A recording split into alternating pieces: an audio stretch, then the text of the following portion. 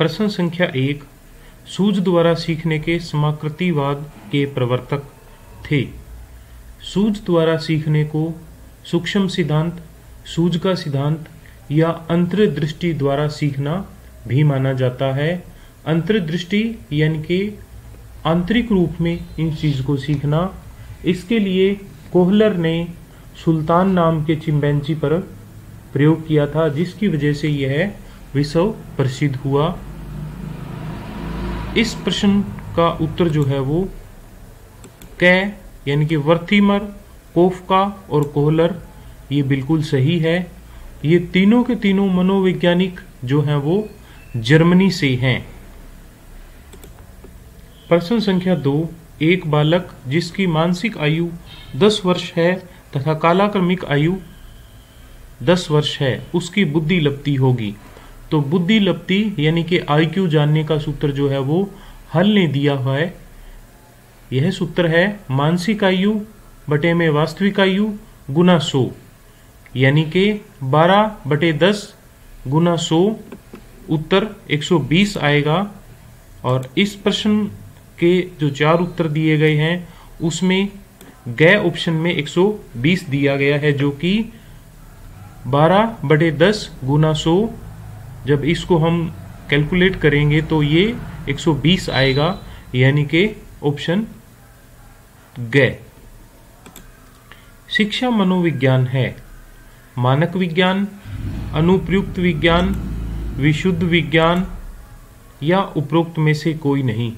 तो इस प्रश्न का जो उत्तर है वो बी यानी कि अनुप्रयुक्त विज्ञान बिल्कुल सही माना जाएगा, क्योंकि शिक्षा मनोविज्ञान में वैज्ञानिक ढंग से विभिन्न तरह के प्रयोग किए जाते हैं और जो कि पूर्णतः विज्ञान पर आधारित होते हैं। प्रश्न संख्या चार, मानव विकास परिणाम है। आर्थिक कारकों का आर्थिक कारक यानी कि धन से जुड़े हुए। तो धन कम, सामान्य या अधिक होने पर विकास होगा, ऐसा कोई ज़रूरी नहीं है। वंशानुगत एवं वातावरणीय कारकों का तो ये उत्तर बिल्कुल सही है।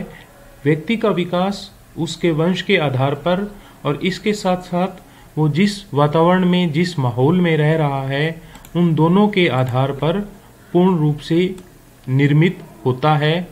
जबकि तीसरा उत्तर धार्मिक कारकों का तो धर्म के आधार पर भी विकास के बारे में कह पाना संभव नहीं है। अभी प्रेरण कारकों का तो जो अभिप्रेरण कारक है, अभिप्रेरणा जो है, वो भी ज़्यादा लंबे समय तक नहीं प्रभावशाली रहती। तो ऐसी परिस्थिति में इस प्रश्न का जो उत्तर है, वो वंशानुगति एवं वातावरणीय कारक दोनों का संयुक्त रूप जो है, वो मानव विकास का बहुत ही अच्छा परिणाम माना जाता है। पिछले कुछ सप्ताह से हमारी टीम ऑनलाइन एजुकेशन के रूप में ये वीडियो तैयार कर रही है और हमारा जो उद्देश्य है वो प्रत्येक उस विद्यार्थी को जो आरपीएससी की परीक्षा दे रहा है, को आसानी से आरपीएससी द्वारा विगत वर्षों में लिए गए प्रश्न पत्रों को अच्छे ढंग से उत्तरों के साथ समझाना है तो आपसे एक निवेदन है कि आप हमारे इस चैनल को सब्सक्राइब करें, लाइक करें, शेयर करें, ताकि यह ज्ञान सिर्फ़ आप तक ही सीमित न रहे, बल्कि प्रत्येक उस विद्यार्थी तक पहुँचे जो आरपीएससी फ़र्स्ट ग्रेड द्वारा आयोजित की जाने वाली परीक्षा में परीक्षा देगा। प्रश्न संख्या पाँच, शिक्षा मनोविज्ञान संबंधित है। अधिगम करता से, यानी कि सीखने वाला अधिगम प्रक्रिया जिस क्रियात्मक रूप में सिखाया जाएगा, अधिगम संस्थिति, यानी अधिगम से जुड़ी हुई संस्थितियाँ और उपरोक्त सभी तो इस प्रश्न का जो उत्तर है, वो उत्तर चार, उपरोक्त सभी बिल्कुल सही है। प्रश्न संख्या छ श्रृंखला अधिगम संबंधित है। तो जो श्रृंखला अधिगम है, वो उत्तर तीन, यानी गैग्नी से संबंधित है। इस तरह के जो प्रश्न होंगे, उनको, प्रश्नों को आपको, इन प्रश्नों को आपको उसी रूप में याद करना होगा, जिस तरह के ये दिए हुए हैं। श्रृंखला अधिगम संबंधित है गैग्नी से। किशोर, प्रश्न संख्या सात, किशोरावस्था, बड़े दबाव, एवं तनाव तथा तूफानों एवं संघर्ष की अवस्था है। किशोरावस्था से संबंधित यह जो परिभाषा है, आरपीएससी द्वारा 2016 में स्कूल लेक्चरर के लिए जो प्रश्न पत्रों का निर्माण किया था, उसमें मनोविज्ञान के भाग में यह परिभाषा कई बार पूछी जा चुकी है। यानी कि ये वो प्रश्न है जो रिपीट हो चुका है तो इस प्रश्न को आप अच्छे से याद कर लीजिए कि किशोरावस्था को दबाव, तनाव, तूफ़ान और संघर्षों का काल कहा है, ये कहा है? स्टैनले हाल ने तो इस प्रश्न का जो उत्तर है वो सी है। प्रश्न संख्या आठ, मनोविज्ञान में व्यवहारवाद का प्रतिपादन करने वाले थे। तो इस प्रश्न का जो उत्तर है, वो है जे बी वाटसन इन्हों के, इन्हीं के प्रयासों से 1913 में मनोविज्ञान में एक नए वाद, व्यवहारवाद जो है, उसकी शुरुआत मानी जाती है। और ये प्रश्न अक्सर आरपीएससी द्वारा लिए गए विभिन्न प्रतियोगिता परीक्षा में पूछा गया है। तो इस प्रश्न को आप ज़रूर अच्छे से याद कर लें। इस चित्र को ध्यान में रखते हुए आप इस बात को याद रखें कि अगर अब तक आपने हमारा चैनल सब्सक्राइब नहीं किया है तो हमारा चैनल सब्सक्राइब कर लें। प्रश्न संख्या नौ, सृजनात्मकता की विशेषता होती है। सृजनात्मकता की विशेषता, सृजनात्मकता यानी कि कुछ सृजन करना, कुछ नया निर्माण करना, जो पहले से पूर्णतः नवीन है, बिल्कुल नया है। तो इसमें मौलिकता भी होती है, प्रवाहशीलता भी होती है और इसके साथ साथ लचीलापन भी होता है। तो इस वजह से इस प्रश्न का जो उत्तर है वो घ यानी कि उपरोक्त सभी मौलिकता, प्रवाहशीलता, लचीलापन तीनों ही उत्तर माने जाएँगे। एडवांस ऑर्गेनाइजर प्रतिरूप जिन्होंने दिया तो ये मनोवैज्ञानिक जो हैं वो आसुबेल हैं। इन्होंने एडवांस ऑर्गेनाइजर प्रतिरूप दिया, यानी कि उसका निर्माण किया। तो इस तरह इस प्रश्न का जो उत्तर है वो ख बिल्कुल सही है।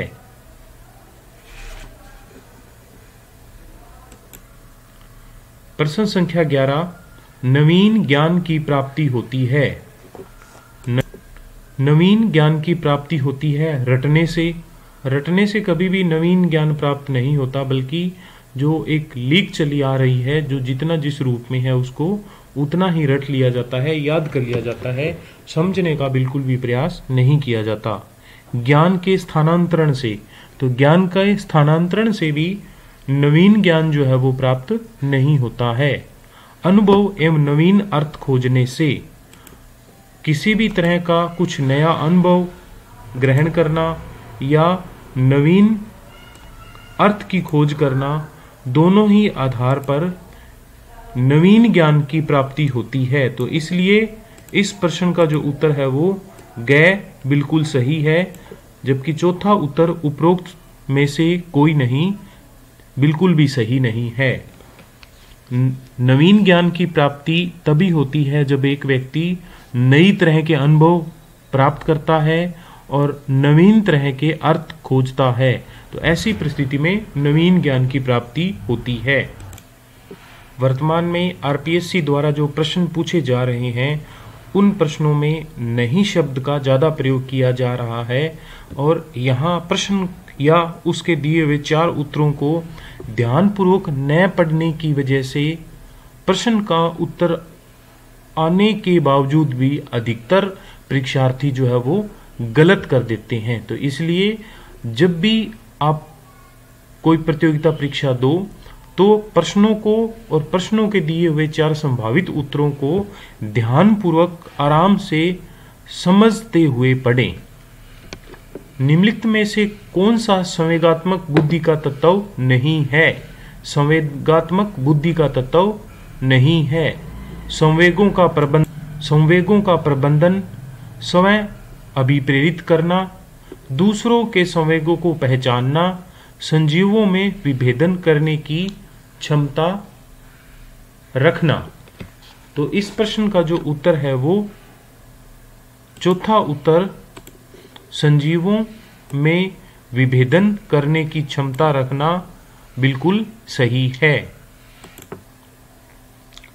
प्रश्न संख्या तेरह, विज्ञान और तकनीक से जुड़ा हुआ निम्नलिखित में से कौन सी संप्रेषण सामग्री नहीं है? छपी हुई सामग्री होती है ट्रांसपेरेंसी होती है ओवरहेड प्रोजेक्टर अब ये जो ओवरहेड प्रोजेक्टर होता है, ये एक तरह से इंस्ट्रूमेंट के रूप में होता है, न के सामग्री के रूप में। अर्थात ये एक साधन है। और चौथा उत्तर ऑडियो कैसेट तो ऑडियो कैसेट जो है, वो भी एक तरह से सामग्री के रूप में है, जबकि यहाँ पूछा गया है कि संप्रेषण सामग्री नहीं है। तो यहाँ जो गय उत्तर है ओवरहेड प्रोजेक्टर जिसके ऊपर कोई चीज़ रखी जाती है और फिर उसका रिफ्लेक्शन होकर के वही चित्र हमें सामने दीवार पर दिखाया जाता है, ये ओवरहेड प्रोजेक्टर होता है। तो ओवरहेड प्रोजेक्टर यहाँ एक तरह से एक मशीन है, न के संप्रेषण की सामग्री। प्रश्न संख्या चौदह आत्म संप्रेषण को कहते हैं। आत्म संप्रेषण को समूह संप्रेषण नहीं कहते, जन जन संप्रेषण नहीं कहते, और चौथा उत्तर जो है, इनमें से कोई ये तो हो ही नहीं सकता, बल्कि इसका जो उत्तर है, वो तीसरे उत्तर के रूप में अंत्य व्यक्तिक संप्रेषण बिल्कुल सही है। एक बार फिर इस चित्र को ध्यान में रखते हुए अगर अभी तक आपने हमारा चैनल सब्सक्राइब नहीं किया है तो जल्दी से इस चैनल को सब्सक्राइब कर लीजिए। प्रश्न संख्या पंद्रह, निम्न में से कौन सी रक्षात्मक क्रिया विधि नहीं है? प्रतिगमन, साहचर्या, क्षतिपूर्ति और उद्मतीकरण तो आप इस चित्र को ध्यान में रखते हुए हमारे चैनल को ज़रूर सब्सक्राइब कर लीजिए। प्रश्न संख्या 16 वीडियो कॉन्फ्रेंसिंग की निम्नलिखित प्रकार से के संचार में वर्गीकृत किया जा सकता है। दृश्य एक तरफा, यानी कि जहाँ एक तरफा दिखाई देता है। दृश्य सर्वे एक तरफा, दृश्य दिखाई देना सर्वे, यानी सुनना, लेकिन एक तरफा। दृश्य सर्वे दो तरफा। यानी कि दिखाई भी देगा और सुनाई भी देगा और दो तरफा, यानी दोनों तरफ़ सुनाई और दिखाई देगा। तो ऐसी परिस्थिति में इसका जो उत्तर है वो गय बिल्कुल सही है। प्रश्न संख्या सत्रह, कंप्यूटर वायरस है। हार्डवेयर। हार्डवेयर कंप्यूटर के वे भाग होते हैं जिन्हें हाथ से छुआ जा सकता है, जैसे मॉनिटर, कीबोर्ड, माउस, सीपीयू इत्यादि। ये कंप्यूटर के हार्डवेयर हैं, यानी कठोर भाग हैं, इन्हें हाथ से छुआ जा सकता है। जबकि सॉफ्टवेयर वे भाग हैं, जिन्हें छुआ नहीं जा सकता है, बल्कि हार्डवेयर के द्वारा इन सॉफ्टवेयर का प्रयोग करते हुए विभिन्न तरह के कार्य जो हैं, वो किए जा सकते हैं। नंबर तीन, बैक्टीरिया। बैक्टीरिया जो है, वो कंप्यूटर से जुड़ा हुआ कोई शब्द नहीं होता। तो ऐसी परिस्थिति में इस प्रश्न का जो उत्तर है वो सॉफ्टवेयर है। कंप्यूटर जो वायरस होता है, वो एक तरह से एक सॉफ्टवेयर होता है जो इस रूप में भेजा जाता है कि सामने वाला उसे एक्सेप्ट कर लेता है और जैसे ही वो उस चीज़ पे क्लिक करता है क्लिक करते ही उस सॉफ्टवेयर में कुछ इस तरह से तैयार किए हुए होते हैं कि वो अपने आप सिस्टम फाइलों में जुड़ जाते हैं और वहाँ जुड़ने के बाद में सिस्टम की जो फाइलें होती हैं उन्हें करप्ट करना शुरू कर देते हैं, उन्हें उन फाइलों को कट करना या एक तरह से उन्हें तोड़ना मरोड़ना कह सकते हैं, करना शुरू कर देते हैं, जिसकी वजह से कंप्यूटर का जो सिस्टम सॉफ्टवेयर होते हैं वो सही ढंग से नहीं चल पाते और ऐसी परिस्थिति में एक बार कंप्यूटर के सॉफ्टवेयर जो होते हैं वो खराब होने की वजह से दोबारा डालने पड़ते हैं। तो कंप्यूटर वायरस जो है वो एक तरह से सॉफ्टवेयर है। प्रश्न संख्या अठारह, सूचना संप्रेषण तकनीक में सम्मिलित है। ऑनलाइन सीखना, वेब आधारित सीखना, एजुसेट के माध्यम से सीखना और चौथा उत्तर उपरोक्त सभी। तो ये तीनों ही तरह से सूचना संप्रेषण तकनीक में सीखा जा सकता है। कंप्यूटर अगर थोड़ा बहुत चलाना आता है तो उसके बाद बहुत से ऐसे कोर्सेज हैं, जिन्हें ऑनलाइन रूप में हम सीख सकते हैं।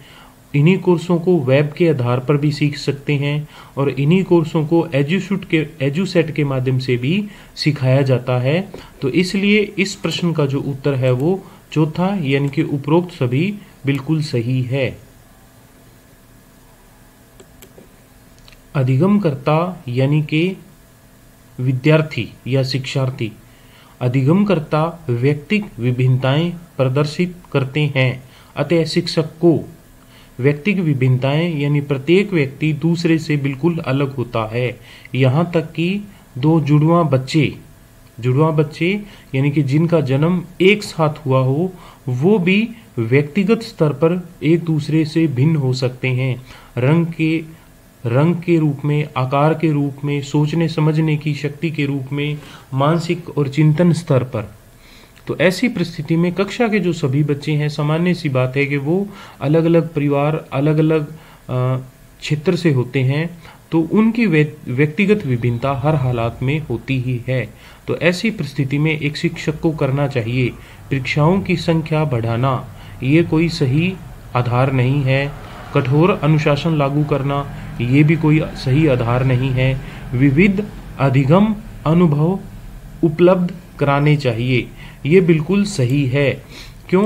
क्योंकि जब कक्षा में पढ़ाने के दौरान विद्यार्थियों को अध्यापक अगर विविध प्रकार के, यानी अलग अलग प्रकार के अधिगम अनुभव उन्हें उपलब्ध करवाएगा, चाहे वो पढ़ाने के दौरान बोर्ड का प्रयोग करता है, बोर्ड पे कोई चित्र बनाता है, बोर्ड पे कोई डायग्राम बनाता है, या किसी व्यक्ति विशेष का उदाहरण देता है, या उससे जुड़ी हुई कोई वस्तु दिखाता है तो ऐसी परिस्थिति में प्रत्येक विद्यार्थी का व्यक्तिक विभिन्नता के कारण अलग अलग अनुभव होता है और कक्षा का प्रत्येक बालक बहुत ही अच्छे ढंग से सीखता है। तो इस प्रश्न का उत्तर गै बिल्कुल सही है।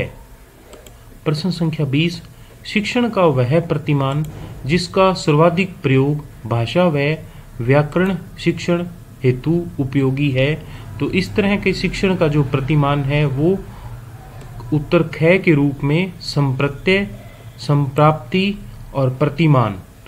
ये ही बिल्कुल सही है।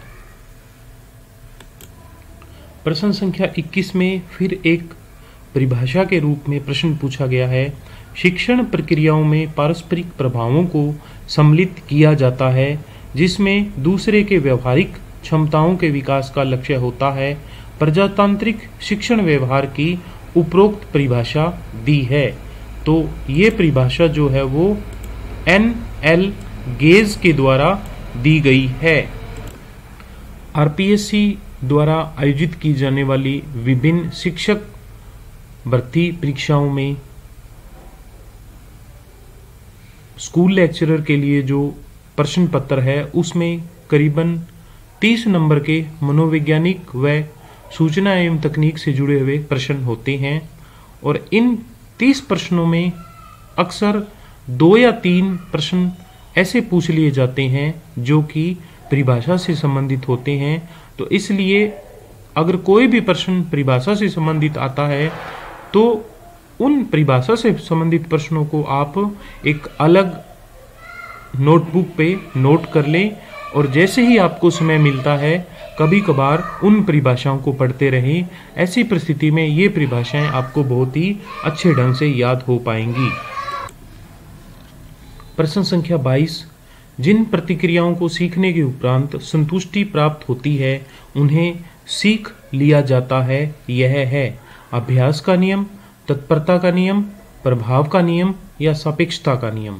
तो यह जो है एक तरह से संतुष्टि होना और संतुष्टि होने से इस चीज़ का एक तरह से प्रभाव नहीं पड़ता है, बल्कि अभ्यास भी नहीं होता है, बल्कि तत्परता का नियम यहाँ, तत्परता का नियम भी यहाँ लागू नहीं होता है। इस प्रश्न में, एक बार प्रश्न को फिर से पढ़ते हैं। जिन प्रतिक्रियाओं को सीखने के उपरांत संतुष्टि प्राप्त होती है, उन्हें सीख लिया जाता है।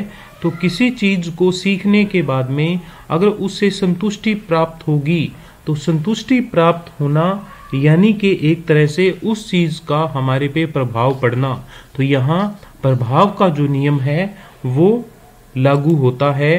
प्रभाव के नियम में जब हम किसी चीज़ से, व्यक्ति विशेष से, किसी घटना वस्तु से प्रभावित होते हैं तो ऐसी परिस्थिति में बालक उस चीज़ को, अन्य विषय वस्तु को सीखने की बजाय जल्दी से सीखता है, आसानी से सीखता है और बहुत बढ़िया ढंग से सीखता है।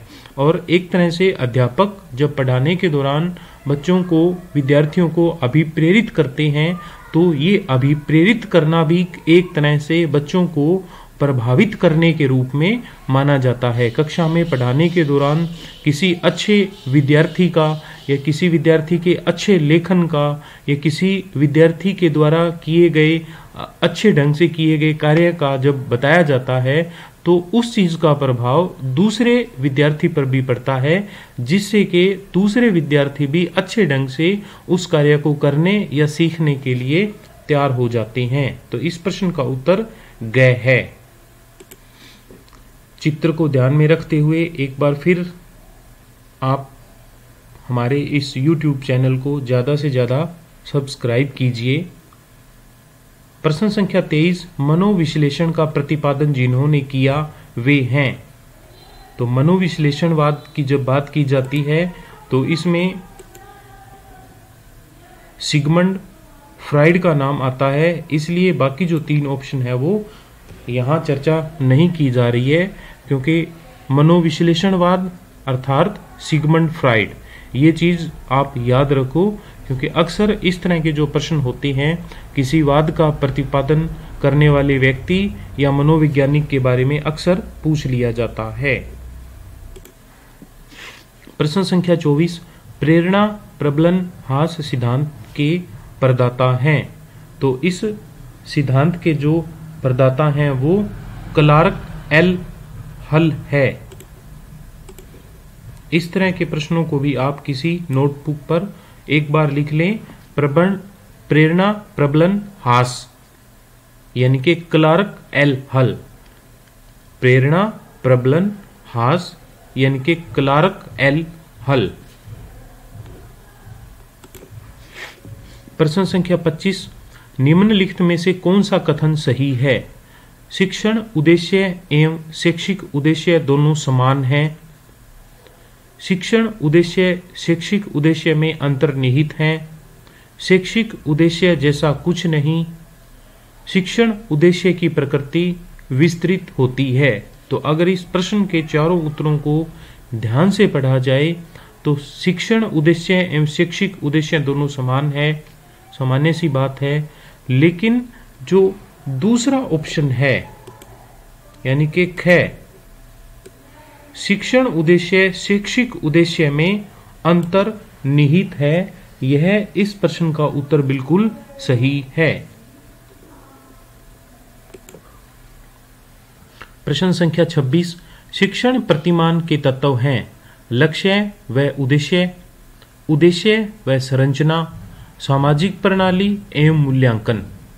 तो अगर इन तीनों ही उत्तरों को ध्यान से पढ़ा जाए तो ये तीनों ही उत्तर जो हैं वो शिक्षण प्रतिमान के तत्व माने जाते हैं, होते हैं। तो ऐसी परिस्थिति में इस प्रश्न का उत्तर घ उपरोक्त सभी बिल्कुल सही है।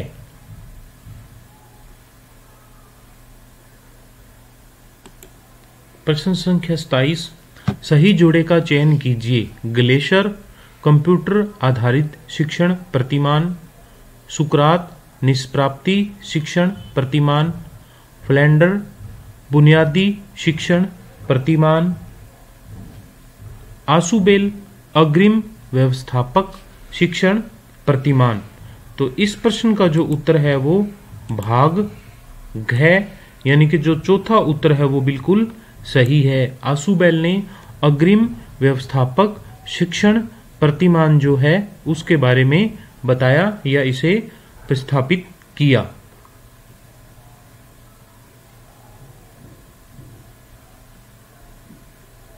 प्रश्न संख्या 28 शिक्षण कक्षा कक्ष में प्रयास करता है। शिक्षण यानी कि पढ़ाना। विद्यार्थियों को अनुभव प्रदान करने का बिल्कुल सही है। विद्यार्थियों को चिंतन का अवसर देने का यह भी बिल्कुल सही है। विद्यार्थियों को सहायक अधिगम वातावरण देने का ये भी बिल्कुल सही है। यानी कि शिक्षण की प्रक्रिया में उपरोक्त तीनों बिंदु जो हैं वो समान रूप से समाये हुए होते हैं। तो ऐसी परिस्थिति में ये तीनों के तीनों उत्तर जो है वो बिल्कुल सही हैं। इसलिए इस प्रश्न का जो उत्तर है वो चौथे उत्तर के रूप में, यानी कि उपरोक्त सभी जो है वो बिल्कुल सही माना जाएगा।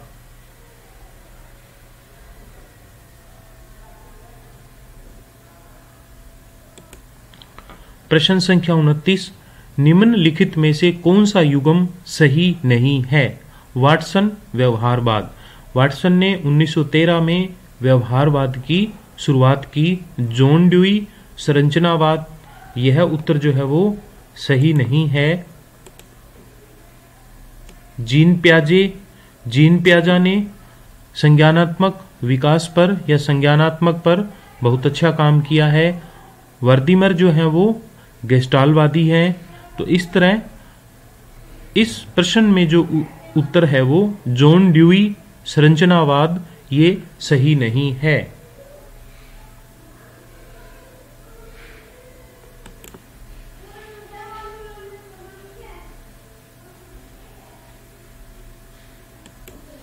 अंतिम प्रश्न प्रश्न संख्या तीस, मानसिक स्वास्थ्य का लक्षण नहीं है।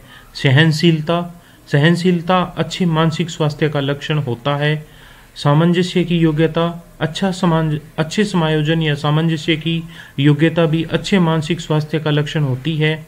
आत्मविश्वास आत्मविश्वास यानी खुद पर, समय पर विश्वास जो होता है, वो भी अच्छे मानसिक स्वास्थ्य का लक्षण माना जाता है।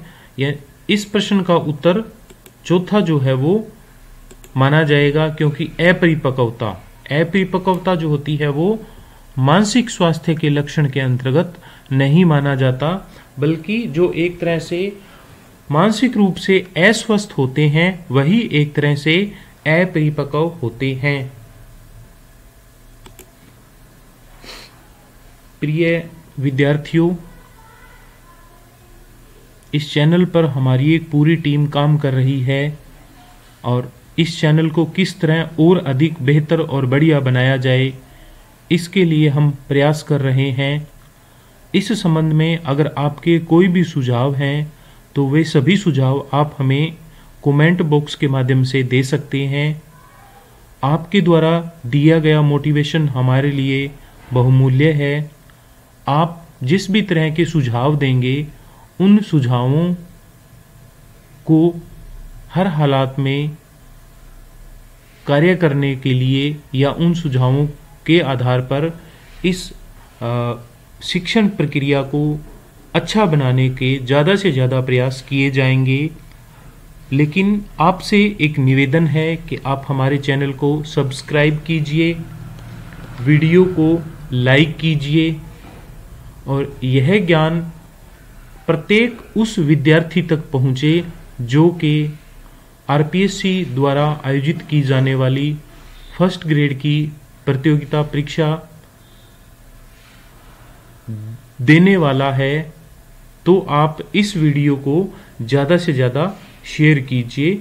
धन्यवाद।